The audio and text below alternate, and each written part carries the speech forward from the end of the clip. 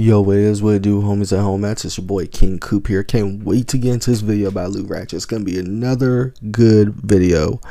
It's called When You Got Class with Your Best Friend. Now, you know what? Back in the day when I had classes with my best friends, we would cut up. We would just have fun. We'd be clowning. We'd be wilding.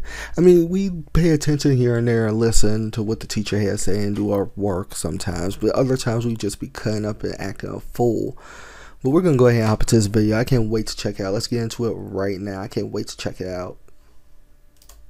What's number? Tell me number nine.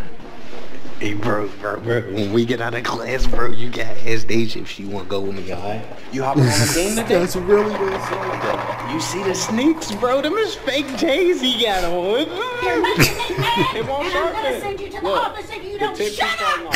Yeah, fake. That was my teachers back in the day.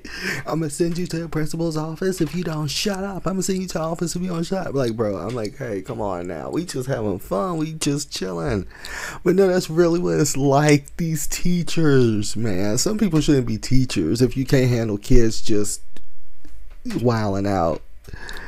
J's, oh, bro. Oh, man, let's go back to the video. you can see his Jumpman. He's dribbling, bro. He's not even dunking.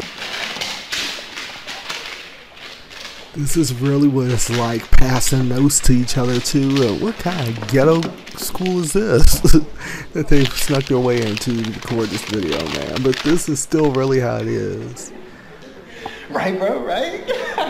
what was number nine? I'm gonna just copy yours. Go ahead, go ahead. Same time, same time.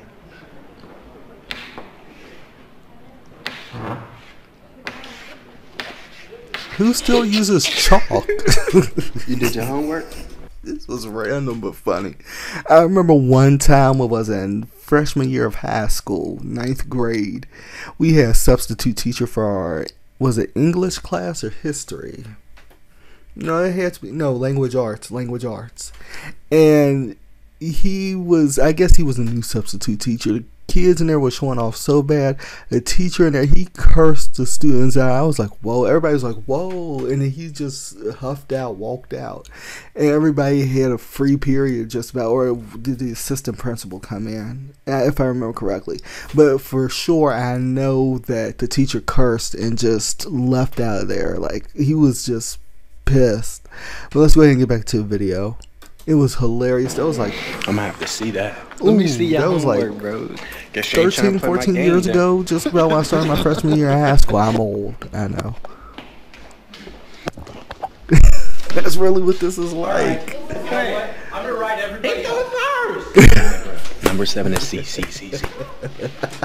Here, bro. Real quick, pencil fight, pencil fight, bro. Pencil fight.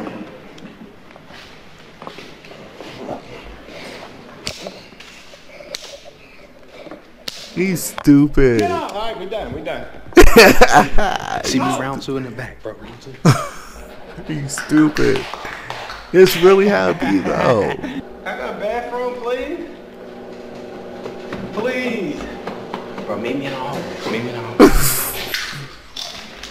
He's stupid. Put your hand up. Put your head back. I'm about to waterfall it. Don't put your mouth on my stuff, bro. Put your head back.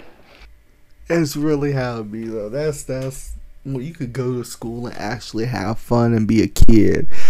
When you can actually do that instead of worrying about stupid stuff popping off all the time, like people just fighting, you know, shooting and so on so on. It's just when you could go to school back in the day and just have fun and actually be a kid or a teenager. Those were the days right there. Those were the days you didn't have to look over your back, over your shoulder all the time, worrying about who's got this, who's got that, who's got a knife, who's got, you know kids people were somewhat normal back then instead of all crazy like they are now but um, i enjoyed this video. It was funny. It was entertaining. It was hilarious. Hopefully y'all enjoyed it too. Definitely check out Lou Ratchett's channel. Like i said he's on a road to a million. He's definitely gonna hit that by at least april. If that he might hit by the end of march or before the end of march. You never know.